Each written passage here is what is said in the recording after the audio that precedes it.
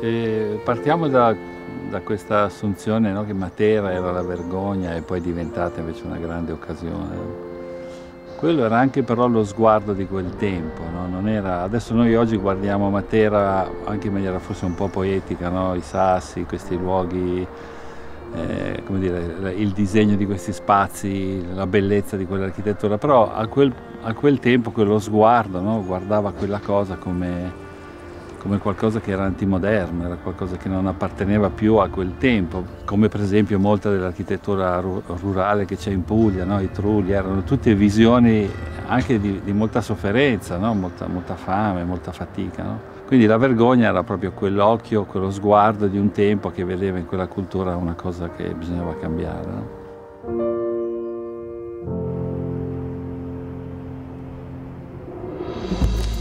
Credo che l'eredità che questo evento può lasciare su Matera è quello di dare uno sguardo a Matera non solo come sassi, ma tutto quello che è stato nella storia del trasferimento dei sassi in questi quartieri moderni.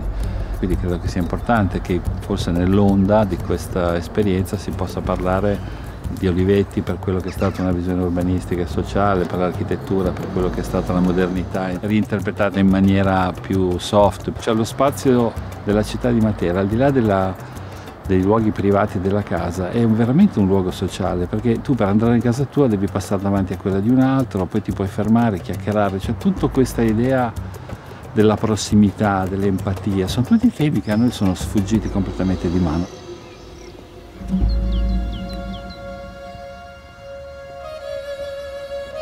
Forse quello sguardo noi dovremmo recuperarne più che un aspetto estetico di forma che è irriproducibile per mille ragioni, è proprio quella di, di, di, prendere quali sono gli elementi fondativi di quella cultura, no? quell'idea di stare insieme, no? che è un tema oggi che, di cui si fa un grande dibattito, no? come facciamo a stare insieme in città molto grandi, come facciamo a, ad avere i nostri vicini amici, perché gli anziani stanno guardando al tema dell'empatia, dell'amicizia come una delle forme di cura, perché ci manca il rapporto con i nostri vicini, cioè tutto questo noi non siamo più riusciti a riprodurlo. Allora Matera in questo senso ci insegna quello, no? ci insegna che si poteva progettare per ragioni di scarsità di risorse, per ragioni di prossimità e anche di economia. No?